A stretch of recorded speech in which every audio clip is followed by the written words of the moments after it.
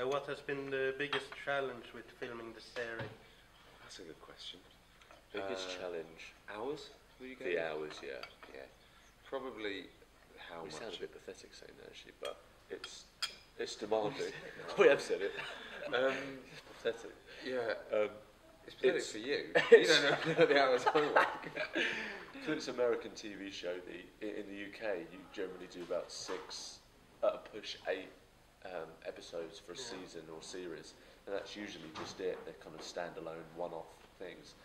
Uh, this doing like 10, 10 hours of of uh, you know eight months, all day, every day, bar weekends. It's kind of uh, it was a kind of a shift for us Uh, UK actors. Yeah, Yeah. thank you. so what has been the most fun with doing the series? Um, well, it's been a combination. One has been the actual uh, the experience of doing. It's the kind of show where you do things you don't generally get to do as an actor. Yeah. Generally, you you know, you, if you're in a medical show, you do an operation is the most exciting thing, and you'll get one of those every month. Or if you're in a, a, a crime show, then it will be a good murder once in a while. Yeah. This show, there's something. We do something extraordinary almost every day. We blow something up, or we're in an incredible new location, or So- horses and sword horses and fighting. swords and we're in and harnesses. And yeah, stunts and so there's it's not like your average job. So that's the fun on the set. And then the most fun part afterwards has been seeing people's reaction to it around the world. Like actually seeing people be so intensely passionate. Not just in the way that sometimes as an actor people come up to you and say, Oh, I know you from Yeah. you from that thing?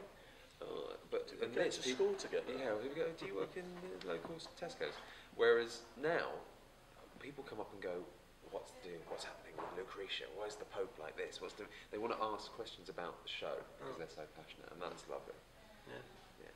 So uh, with all those actions and stuff, has there been any injuries? Yeah.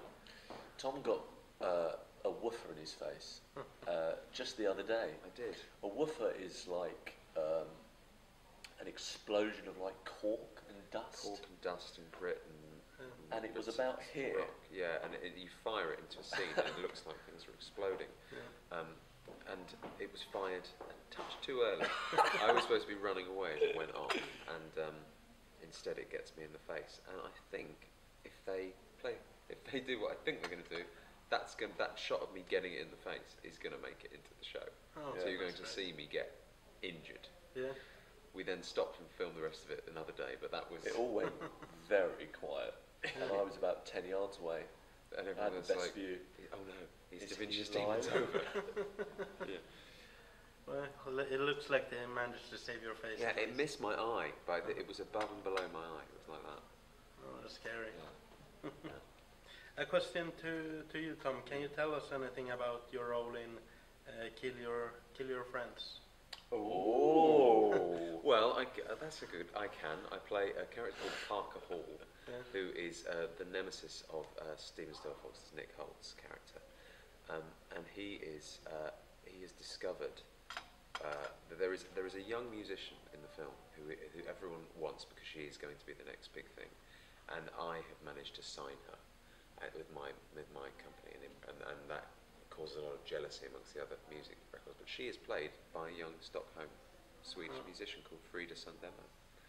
Um, and uh, she she she is the, the jewel everyone's fighting over in the Okay. movie. So um, and I and I have an in with her. So that's what um, that's who I play. Okay. And I managed to answer as I'll turn it into a Swedish question. Yeah, that's great. Good. We've done this before. Yeah. So how did you guys end up in this uh, in uh, Da Vinci's Demons? We just walked into the set one Yeah. day and uh, We've been in the costumes for years, Yeah, just yeah. waiting. was waiting. Uh, well, the auditions were two, three years ago.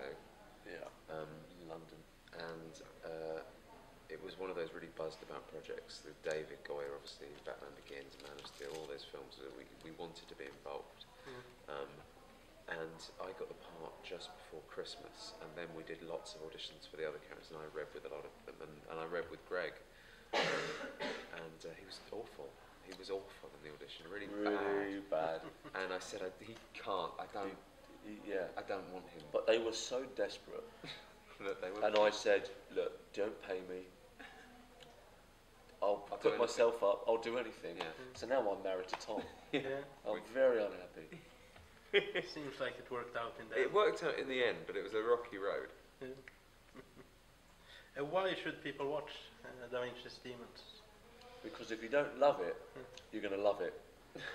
Crystal, that's for you. You're either going to love it, you're either going to love it, or you're going to really love it. um, because it's it's not like anything else on TV. It's it's um, it's a period it's a period drama. If you like period dramas, this is period dramas with the volume like cranked up to eleven. It's Rock and roll It's a rock and roll period drama, particularly in the first season.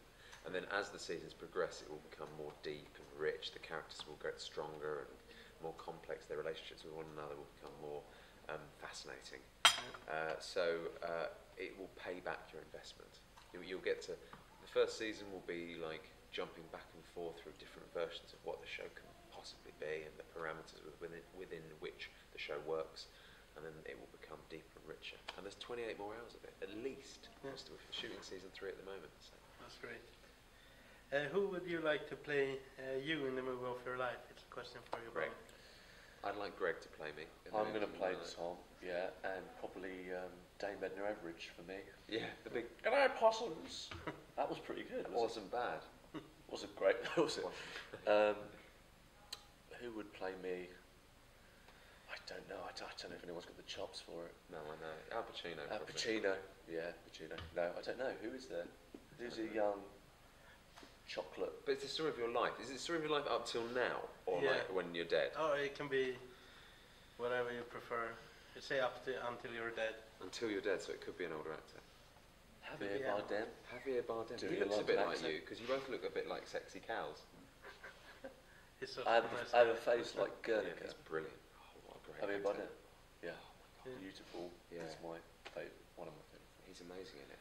He's so handsome and strong and so brilliant in No Country for Old Men as well. Yeah, got it. Yeah, Got I can see him playing you. it. We both Look- got. looking forward noses. for that movie. Yeah, I am too now. You should send him the offer quickly. So, of the season one and two, what uh, what is your favorite? Oh well, I mean, they, Three. They, it's three, yeah. Um, we, the, the show, it would be disingenuous to say anything except that for us the show gets even better and even better as it goes on. Yeah. So um, season one we've got we're very proud of. We have a very soft spot for, and it was exciting and fresh and, and very very different. And, um, but it does get better as it goes along, which is exciting. You know, it's It and- and evolves. if it didn't, then we'd be doing something wrong. Yeah. If we don't, you know, if you don't learn from what works and what doesn't work, that's the magic of being able to write TV you, or be in TV. You get to watch back and Yeah. see what was working, what wasn't working, and and um, and, and then evolve. So three probably as we're shooting right now. Yeah. So, what do you prefer of uh, making films and TV? Four. Well, there's a kind of strange crossover now, really, because particularly this show is so kind of cinematic, and we can't. Particularly season one is like um, eight films, eight Mm. features. I suppose at least with film, you're generally on it less, so you're not working You crazy hours. You have more time. It's less rushed. more uh, takes, more more, takes, more yeah. time for rehearsal, less less things shot in a day. Yeah. You know, three pages shot in a day rather than six pages. Um, but but so the, that's the con of TV is that you don't get as much time as you need sometimes, especially if you want to make something that looks as beautiful as our show does. Yeah. A lot more time is going to be devoted to the lighting than to getting Aesthetic. the acting. And, yeah. Um, whereas on cinema, you get both of those things. However, with cinema, you don't get the luxury of developing a character over years. You don't get the luxury of delving deeper into things and being able to hold your water and do a long, slow burn of an arc. You know, Hold your water. you're doing Alan Bennett now. So we've had David Oh, Average, Dudley. Javier Bardem, and, and Yeah, I'm never going to work again. you're not, are you?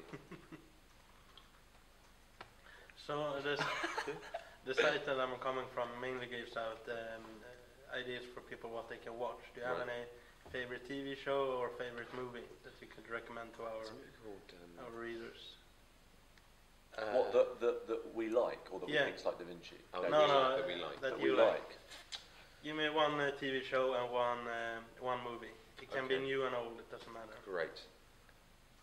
For me, uh, recently, House of Cards, Yeah. season one.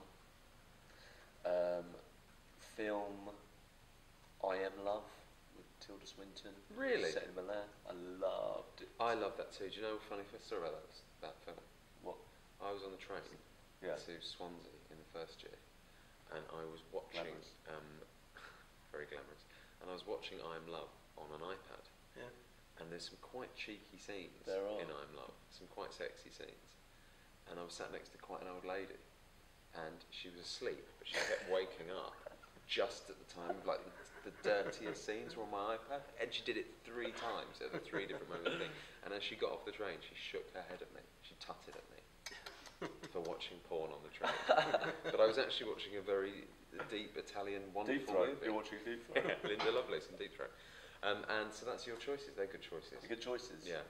Um, recently, I've watched Orange is the New Black. Yeah. We're both plugging Netflix here, um, which I loved. Uh, uh, for purely for the character development, it's the most. The plot does isn't as isn't as sort of doesn't push the story as much as in, in other shows that have a grand mythology. But the character work is just exquisite. You know, it's some of the best character work I've seen on TV. It balances humour and drama beautifully, and I think the lead actress Taylor Schilling has an incredibly difficult job, surrounded by very interesting supporting actors, and yet what she does is phenomenal. I think she's an extraordinary actress, I'd like to meet her and shake her hand and tell her. Um, for for a uh, film, what's what's recent? What have I come out and loved recently?